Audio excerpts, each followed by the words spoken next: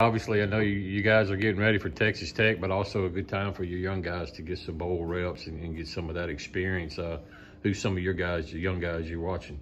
Yeah, three guys for me John Lewis, you know, Ty Cooper, and then uh, Nick Jarrett. They're all three out there rotating right now, uh, getting a lot of reps in these team periods and seven and seven and one-on-one pass rush. And so, it's a great to me. It's a great setup because you get a jump on spring ball for those guys. You're just you know working base calls, base technique, and and uh, you you you really all those reps add up. So I'm excited to see those guys run around. John to me is the one out of the three that's he's been really really improved. I'm excited about what he's shown. So I'll just continue to improve as we go through this bowl prep. You got to look at the future. Yesterday with some guys you brought in. I, I know you uh, we're, on Khalid Moore pretty hard. I, I ask you to talk about him a little bit and what and other guys that you were on that you mm-hmm. signed yesterday. Mm-hmm. Yeah, I was pretty excited about the all three of the linebackers. You know, Khalid is a guy that comes from a good program down there, great family. They expect him to work hard. He expects a lot of himself.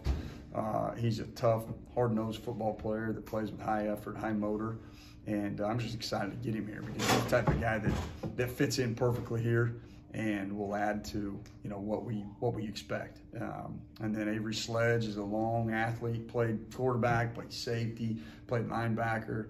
Uh, and his ceiling is so high because of the program he's been in, and then the fact that he's a three-sport athlete, you know, basketball and baseball. So as he adds weight and gets in a, in a program that always focused on his football, uh, he's got a huge, huge future.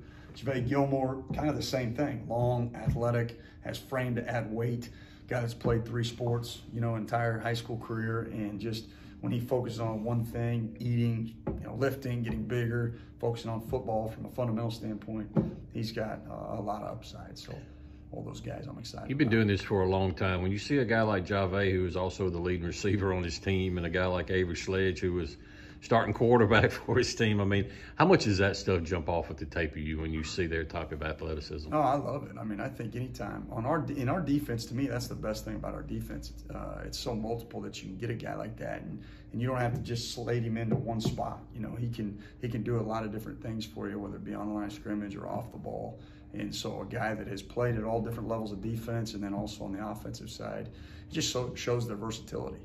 Uh, I know he he don't talk much anyway, but I know Tyrus hadn't come out and officially said he's coming back, but it sounds like he's coming back for another year. How big of a boost is that for that defense? Well, that would be the number one signing uh, signee right there. You know, if we get him back, that would be that would be huge for our defense because he's a guy that uh, you speak about Javay's versatility or Avery's versatility. Well, Tyrus is the same guy. You know, he played safety at Amite High School. He played safety at Codeland, I believe, and then and now he's just progressed. And the thing that I keep talking to him about is you know, Tyrus really hasn't had an opportunity to develop fundamentally other than last spring ball, you know, and then this past fall camp. So he's got a lot of upside to his uh, his game right now as well. And we just hope to continue to add to that. What are you looking for? Uh, I know you can't say specific names for special teams. You're looking to add some guys. Yeah, no question. I mean, we've got to add depth and we've got to add immediate competition to to fix it. You know, and so uh, yeah, like you said, I can't speak on specific names. There's a couple of things in the works right now uh, going on behind the scenes. So uh, we just got to finish.